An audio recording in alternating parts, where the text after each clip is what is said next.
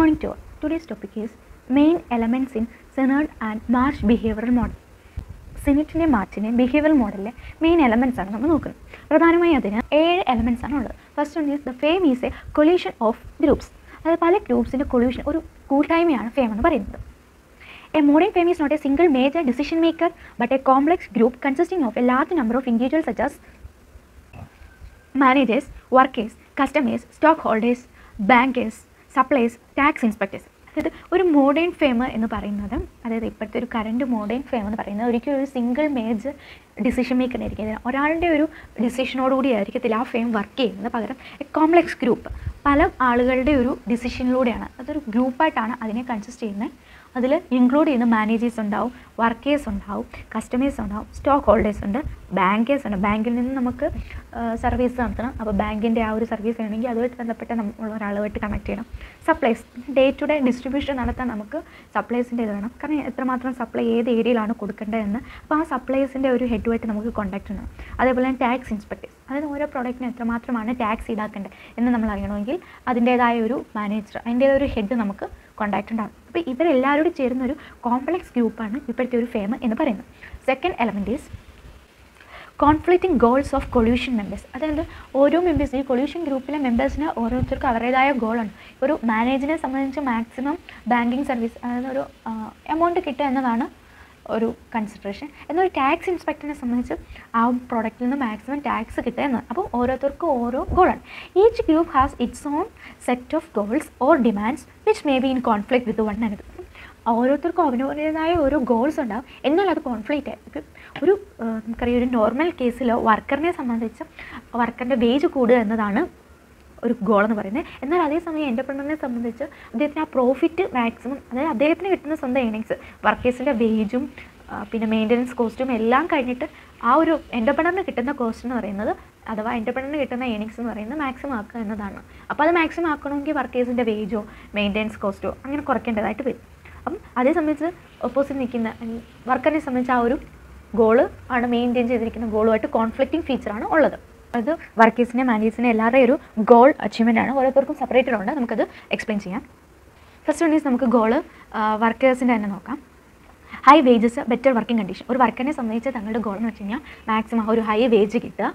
അതേപോലെ തന്നെ working കണ്ടീഷൻസും maximum better ആക്കുക എന്നതാണ് അവർ ഗോൾ ചെയ്യുന്നത്. എന്നാൽ ഒരു മാനേജറിനെ സംബന്ധിച്ച് മാനേജർ നോക്കുമ്പോൾ ഹൈ സാലറി കിട്ടണം. അദ്ദേഹത്തിന് ആ ജോബിന് ഒരു സ്റ്റാറ്റസ് ഉണ്ടായിരിക്കണം. അതുവഴി ഒരു പവർ പവർ ആ ഒരു സൊസൈറ്റിയിൽ അറ്റൻഡ് ചെയ്യുമ്പോഴും ഒരു പ്രസ്റ്റീജ് ഉണ്ടായിരിക്കണം.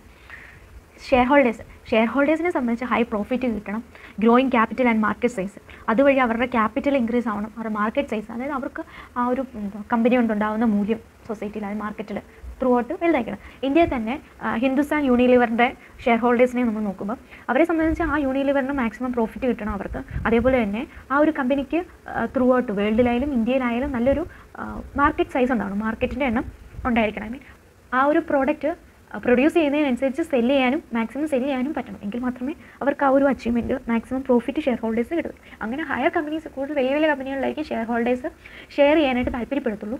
അങ്ങനെ ഷെയർ അല്ലാതെ മിനി സ്മോൾ എമൗണ്ടിൽ ഷെയർ ചെയ്യുക. അല്ലെ സപ്പോസ് ഒരു കമ്പനി ഇപ്പം ഒരു വർണബിൾ സ്റ്റേജിലാണ് ദാറ്റ് മീൻസ് എപ്പോൾ വേണമെങ്കിലും ക്ലോസിംഗ് സ്റ്റേജിലാണ് എന്നുള്ളെങ്കിൽ ഷെയർ ഹോൾഡേഴ്സിനെ സംബന്ധിച്ച് അവിടെ തങ്ങളുടെ ഷെയർ കൊടുക്കുക എന്നത് ഒരു റിസ്കി എലമെന്റ് ആണ്. അങ്ങനെ അവർ താല്പര്യപ്പെടത്തില്ല. കഴിവതും നല്ലൊരു മെയിന്റെയിൻ ചെയ്തു പോകുന്ന ഗുഡ് കമ്പനിയിൽ ഇൻവെസ്റ്റ് ചെയ്യാൻ സോറി ഷെയർ ഹോൾഡ് നൽകാനായിരിക്കും ഷെയർ ഹോൾഡേഴ്സിനും താല്പര്യം ദിസ് ഈസ് സപ്ലൈസ് സപ്ലൈസ് എന്ന് വെച്ച് കഴിഞ്ഞാൽ study contact for the materials അവർക്ക് മെറ്റീരിയൽസ് സ്റ്റഡി ആയിട്ട് കോൺടാക്ട് നമുക്കറിയാം. ഒരു ചോക്ലേറ്റ് കമ്പനി ചോക്ലേറ്റ് കമ്പനിയെ സംബന്ധിച്ച് റോ മെറ്റീരിയൽ വേണ്ട കൊക്കോ പൗഡർ വേണം ഷുഗറിന്റെ കണ്ടന്റ് വേണം അതേപോലെ തന്നെ മിൽക്കിന്റെ കണ്ടന്റ് വേണം.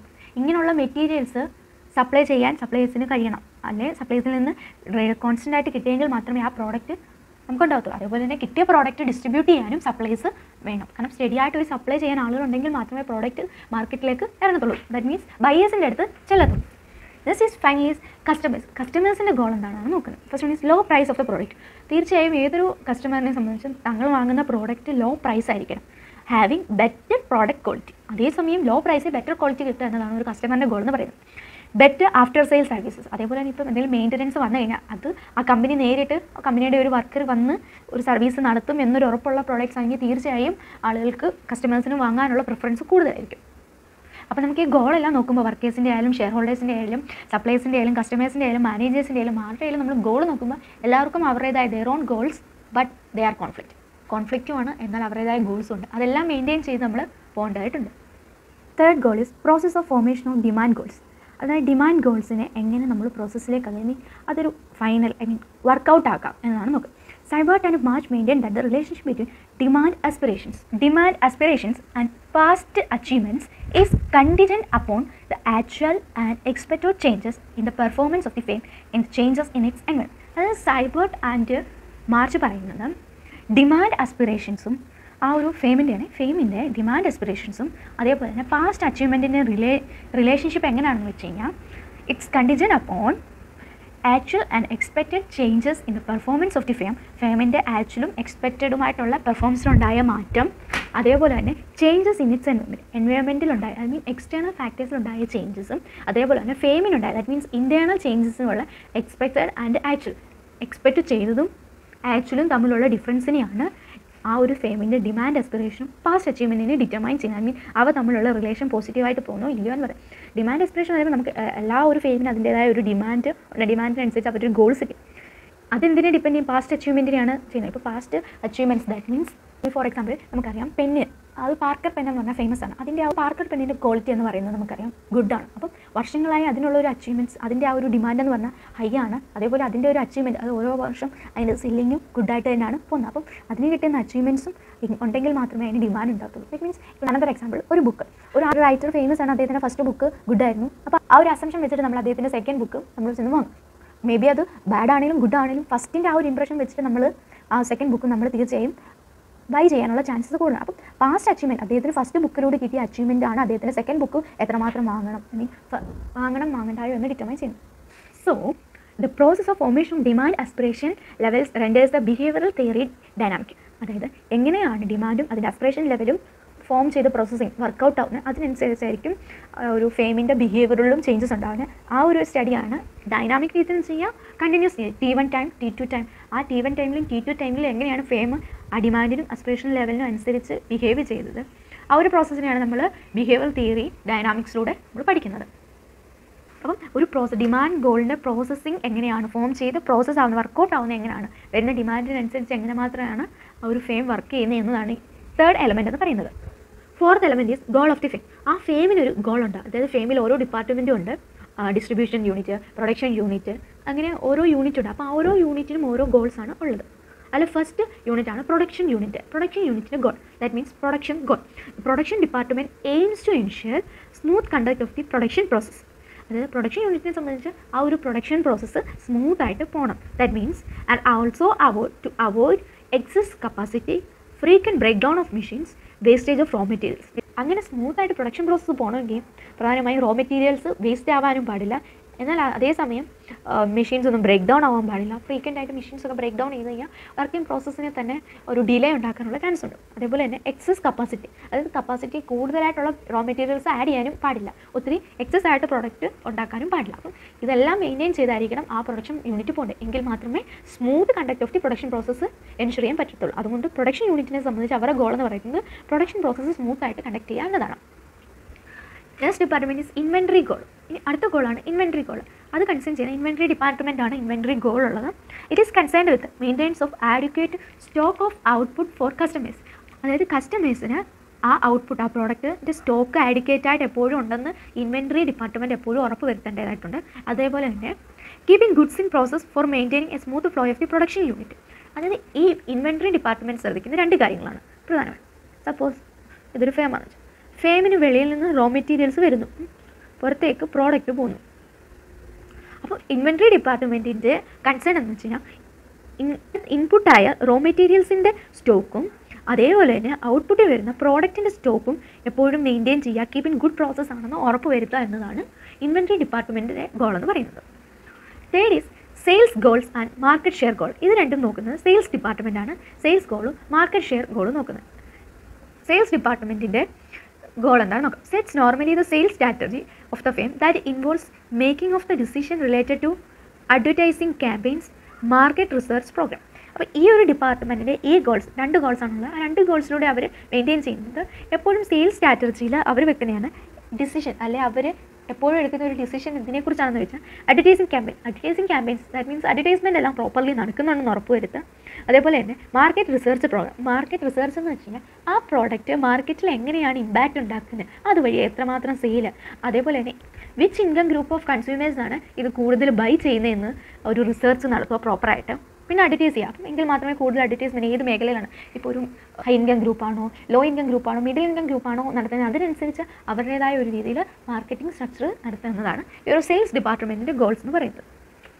And last and important goal is profit goal. The top management sets the profit goals for satisfying the demands of the shareholders, shareholders, bankers, and other financial ഇൻസ്റ്റിറ്റ്യൂഷൻ അപ്പം top management അതായത് ഓരോ ലെയറായിട്ടായിരിക്കും ഓരോ decision മേക്കേഴ്സും ഇരിക്കുന്നത് അപ്പം top management പ്രധാന ലക്ഷ്യം എന്ന് പറയുന്നത് പ്രോഫിറ്റ് ഉണ്ടാകുക ആ പ്രോഫിറ്റ് ഷെയർ ഹോൾഡേഴ്സിനും ബാങ്കേഴ്സിനും മറ്റ് ഫിനാൻഷ്യൽ ഇൻസ്റ്റിറ്റ്യൂഷനും പ്രോപ്പർ രീതിയിൽ ഷെയർ ചെയ്യുക ഡിസ്ട്രിബ്യൂട്ട് ചെയ്യുക എന്നതാണ് ടോപ്പ് മാനേജ്മെന്റിന്റെ ഗോൾ എന്ന് പറയുന്നത്. അപ്പോൾ ഓരോ ഡിപ്പാർട്ട്മെന്റിനും അവരുടേതായ ഗോൾസ് ഉണ്ട്.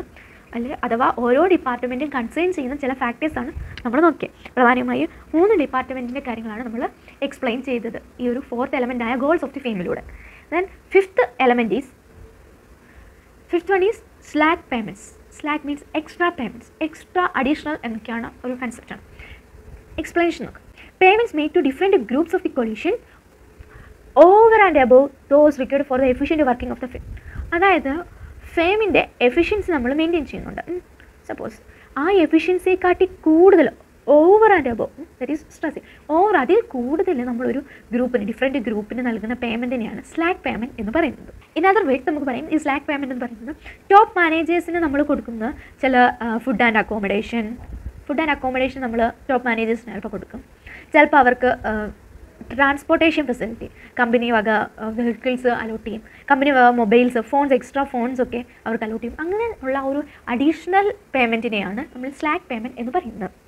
Slack payments have stabilising effect upon the performance of the firm അപ്പോൾ നമ്മളിങ്ങനെ എക്സ്ട്രാ ഒരു ഇപ്പോൾ ട്രാൻസ്പോർട്ടേഷൻ കമ്പനി ഒരു ട്രാൻസ്പോർട്ടേഷൻ നമ്മൾ കൊടുക്കുമ്പോൾ ഇതിലൂടെ ഫേമിന്റെ പെർഫോമൻസ് എൻഹാൻസ് ചെയ്യാൻ പറ്റും. അതേപോലെ തന്നെ ആ ഒരു വർക്കറിന്റെ സ്റ്റാറ്റസ് എൻഹാൻസ് ചെയ്യുന്നു. അപ്പോൾ എൻഹാൻസ് ചെയ്യുമ്പോൾ വർക്കിംഗ് എഫിഷ്യൻസി കൂടാനുള്ള ചാൻസസ് ഉണ്ട്. അപ്പം ആ ഒരു വർക്കിംഗ് പെർഫോമൻസ് ഓവറോൾ ഫേമിന്റെ സ്റ്റെബിലൈസ് ചെയ്യാനുള്ളൊരു ചാൻസസ് ഈ സ്ലാക്ക് പേയ്മെന്റിലൂടെ ഇൻക്രീസ് ചെയ്യും.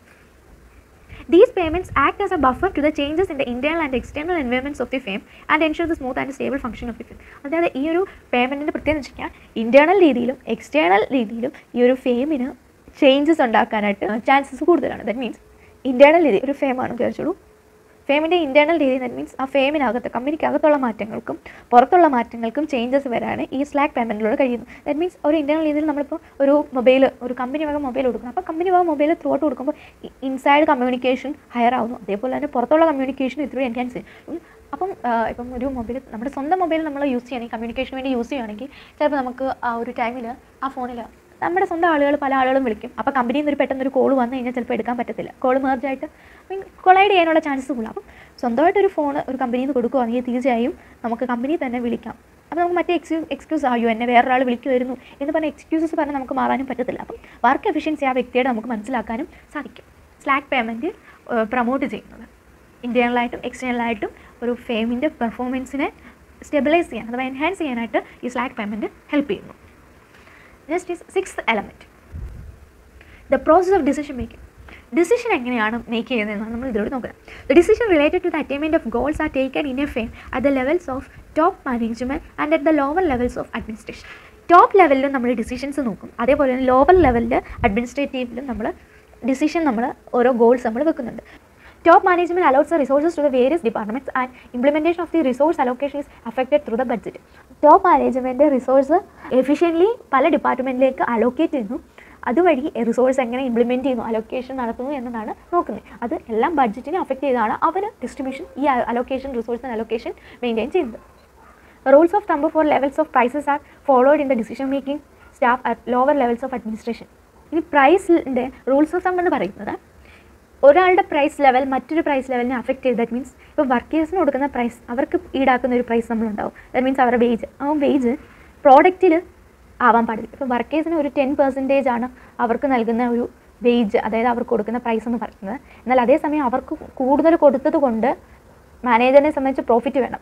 ബാലൻസ് ചെയ്യുന്ന വർക്കേഴ്സിന് കൊടുത്ത ടെൻ പെർസെന്റേജ് മെയിന്റെയിൻ ചെയ്യാൻ വേണ്ടി പ്രോഡക്റ്റിൽ ടെൻ പെർസെന്റേജ് എമൗണ്ട് ആയിട്ട് കൂട്ടിക്കൊടുക്കാൻ പാടില്ല. കാരണം ഒരുപക്ഷെ കൂട്ടിക്കൊടുത്തു കഴിഞ്ഞാൽ ആ പ്രോഡക്റ്റിന് മാർക്കറ്റിൽ ഡിമാൻഡ് കുറഞ്ഞു വരിക അപ്പം ഈ പ്രോഫിറ്റ് മെയിന്റെയിൻ ചെയ്യാൻ വേണ്ടി ഇവിടെയും ഇവിടെയും ബാലൻസ് ചെയ്ത് തന്നെ പോകണം അപ്പോൾ അതിനെയാണ് രണ്ടും കൊളൈഡ് ചെയ്യാൻ പാടില്ല. അതുകൊണ്ടാണ് റൂൾസ് ഓഫ് തമ്പ് എന്ന് പറയുന്നത്. ഒന്നൊന്ന് കോൺട്രാസ്റ്റിങ് ഈക്വൽ ആൻഡ് ഓപ്പോസിറ്റ് ആണ്. അപ്പം കോൺട്രാസ്റ്റ് ആവാൻ പാടില്ല. മീൻ കൊളൈഡ് ചെയ്യാതെ രണ്ടിനെ മെയിന്റെയിൻ ചെയ്ത് റൂൾസ് ഓഫ് തം ഒരു ബാലൻസിൽ പോകുന്നതിനെയാണ് നമ്മൾ ആ ഒരു ലോവർ ലെവൽ അഡ്മിനിസ്ട്രേഷനിൽ കൂടുതലും അവർ ഡിസിഷൻ ആ ഒരു രീതിയിലാണ് പ്രൊസീഡിങ് ചെയ്യുന്നത്. Seventh and final element is treatment of uncertainty ഈ അൺസെർട്ടനിറ്റീസിനെ എങ്ങനെയാണ് അവർ ട്രീറ്റ് ചെയ്യുന്നതെന്ന്? സെർട്ടൺ മാർച്ച് പറയുന്നത് two types of uncertainty faced by ഒരു ഫേമ രണ്ട് ടൈപ്പിൽ അൺസെർട്ടനിറ്റീസ് ആണ് പ്രധാനമായും ഫേസ് ചെയ്യുന്നത്. First one is market uncertainties second is uncertainty of reactions of rivals റൈവൽസിന്റെ reactions uncertainty എങ്ങനെയാണ്? പല റൈവൽസും പല ഫെയിംസും റിയാക്ട് ചെയ്യുന്നത് അതൊരു അൺസർട്ടൺ ആണ്. പിന്നെ അതുപോലെ മാർക്കറ്റിൽ ഉണ്ടാകുന്ന അൺസർട്ടനിറ്റി ചിലപ്പോൾ ഡിമാൻഡ് കൂടും ചിലപ്പം സപ്ലൈ കുറയും ചിലപ്പം അപ്പോൾ ആ ഒരു ഇതിനനുസരിച്ച് എങ്ങനെയാണ് അത് രണ്ട് അൺസർട്ടനിറ്റിയാണ് പ്രധാനമായും ഫെയിംസ് ഫേസ് ചെയ്യുന്നത്.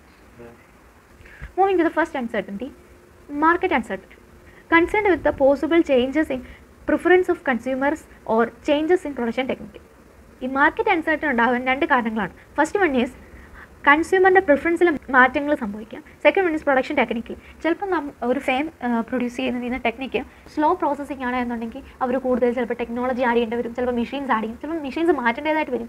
കാരണം ചിലപ്പോൾ തോന്നുന്നു ചില മേഖലകളിൽ മെഷീൻസിനെക്കാട്ടി എഫിഷ്യന്റ് വർക്ക് ചെയ്താന്ന് തോന്നിക്കഴിഞ്ഞാൽ അപ്പോൾ ആ ഒരു ചേഞ്ചസ് വരുത്തേണ്ടി വരും. അതെല്ലാം അൺസർട്ടൺ ആണ്. എവിടെയാണ് ആ ഒരു സ്ലോയിങ് അഥവാ ഫാസ്റ്റിംഗ് നടക്കുന്നതെന്ന് ഫാസ്റ്റിംഗ് ആയാലും പ്രശ്നമാണ്. കൂടുതൽ ഫാസ്റ്റായിട്ട് കൂടുതൽ എക്സസ് ആയിട്ട് പ്രോഡക്റ്റ് ഉൽപ്പാദിപ്പിക്കേണ്ട ആവശ്യമില്ല എക്സസ് പ്രോഡക്റ്റ് വന്നു കഴിഞ്ഞാൽ സപ്ലൈ നടക്കണമെന്നില്ല. അപ്പോൾ അതും ഒരു പ്രൊഡക്ഷൻ ടെക്നിക്കിൽ ഉണ്ടാകുന്ന ഒരു ചേഞ്ചസ് കാരണം ഇത് നെഗറ്റീവായിട്ട് അൺസർട്ടനിറ്റി ഉണ്ടാവാനുള്ള ചാൻസ് അപ്പം രണ്ട് കാരണങ്ങളാണ്. Inherent in any form of market ഈ മാർക്കറ്റ് അൺസർട്ടനിറ്റി ഏത് മാർക്കറ്റ് ഫോമിലും വരാം. പെർഫെക്റ്റ് ആവാം ഇംപെർഫെക്റ്റ് ആവാം ഇംപെർഫെക്റ്റ് തന്നെ മൊണോപ്പൊളിയിൽ മാർക്കറ്റിലാവാം അല്ലെ ഒളിഗോപ്പൊളി മാർക്കറ്റിലാവും ഈ അൺസർട്ടനിറ്റി ഉണ്ടാകും avoided partly by search activity and information അതായത് ഇത് നമുക്ക് പാർട്ടി ഒരു ഭാഗികമായി നമുക്ക് ഇതിനെ അവോയ്ഡ് ചെയ്യാൻ സാധിക്കും. ഈ അൺസർട്ടന്റി ഒരു പരിധി വരെ നമുക്ക് തടയാൻ സാധിക്കും എങ്ങനെയാണെന്ന് വെച്ച് കഴിഞ്ഞാൽ സെർച്ച് ആക്ടിവിറ്റി സെർച്ച് ആക്ടിവിറ്റിയിൽ നിന്നും. Second is information gathering information collect ചെയ്യുക. ഒരു കൺസ്യൂമേഴ്സിന്റെ കയ്യിൽ അല്ലെ സെല്ലേഴ്സോ ബയേഴ്സോ സപ്ലൈസോ ആരുടെ കയ്യിൽ നിന്നാലും ഇൻഫർമേഷൻ നമുക്കൊരു സെർച്ചിങ് ഉണ്ടായിരിക്കും. അതായത് എവിടെ മാർക്കറ്റിൽ എങ്ങനെയാണ് സെല്ല് ചെയ്യുന്നത്. ആ ഒരു സെർച്ച് ആക്ടിവിറ്റി എഫിഷ്യന്റാണ് അതേപോലെ ഇൻഫർമേഷൻ കളക്ട് ചെയ്യുക അതായത് ടെക്നോളജിയിൽ ചേഞ്ചസ് വന്നു. ടെക്നോളജി അപ്ഗ്രേഡ് ചെയ്യണം അത് റിമൂവ് ചെയ്യണം. അപ്പോൾ ആ ഒരു ഇൻഫർമേഷൻ നമുക്ക് എപ്പോഴും ഉണ്ടായിരിക്കണം. ആ രണ്ട് മെതയിലൂടെയാണ് നമുക്ക് ഈ ഒരു മാർക്കറ്റ് അൺസർട്ടനിറ്റി ഒരു പരിധി വരെ നമുക്ക് അവോയ്ഡ് ചെയ്യാൻ പറ്റത്തുള്ളൂ. Second uncertainty is uncertainty of reactions of rivals റൈവൽസിന്റെ reaction ഉണ്ടാവുന്ന uncertain the behaviour theory tend to brush as at the uncertainty related to actions and reactions of the rivals arising from oligopolistic interdependence by assuming some form of tact collusion among the existing firms. അതായത് ഇപ്പോഴുള്ള ഫെയിംസിനിടയിൽ especially എന്താ oligopolistic form of മാർക്കറ്റിൽ ചില Inter dependence collision tact ഉണ്ടാവും. അതായത് collision നടക്കുന്നു രണ്ട് ഫേംസ് ഒരുമിക്കുന്നു എന്നറിയുമ്പം അവരുടെ ആ ഒരു റൈവൽ റിയാക്ഷൻ മാറാനുള്ള ചാൻസസ് കുറവായിരിക്കും. ചിലപ്പോൾ ആ ഒരു ഒളിഗോപോളിസ്റ്റിക് ഫേം സിംഗിളായിട്ട് നിന്നാലും അല്ലെങ്കിൽ ഗ്രൂപ്പായിട്ട് നിന്നാലും റിയാക്ഷനിൽ ചേഞ്ചസ് ഉണ്ടാവും. അപ്പം അതൊരു അൺസേർട്ടൺ ആണ്. അത് നമുക്ക് പ്രെഡിക്റ്റ് ചെയ്യാൻ പറ്റും. So today we have studied Cyert and മർച്ചിന്റെ behaviour തിയറിലെ മെയിൻ എലമെന്റ്സ് ആണ് പഠിച്ചത്.